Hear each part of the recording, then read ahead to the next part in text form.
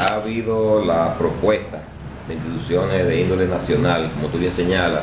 la Comisión Nacional de Efemérides Patria, e incluso ha ofertado el gusto eh, a costo de esa institución para sustituir eh, la figura que tenemos ahí en este momento, porque según las instituciones y prácticamente a la vista de todos, eh, no tiene el rostro que realmente se parezca ni a la fotografía que se usaba antes, ni a la que se usa hoy en día de Juan Pablo Duarte.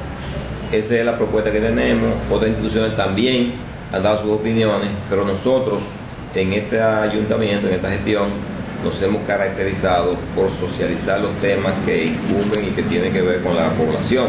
de manera tal que nunca en la vida va a aparecer de un día para otro que ya ese Duarte no está y que está otro Duarte. Eh, hemos escuchado algunos sectores que no están de acuerdo, nosotros también lo, escucharemos y no tenemos ninguna decisión que sea ya definitiva, ni tampoco vamos a hacer un movimiento de esa estatua en contra de sectores que se sientan afectados. Por lo tanto, ese es un tema que está en el tapete, pero no es una decisión definitiva, no tiene fecha de que se vaya a hacer el cambio y estamos en la mejor disposición de escuchar cualquier sector. El día de ayer estuve en el estadio viendo el juego de fútbol y alguien de un sector de lo que se opone habló conmigo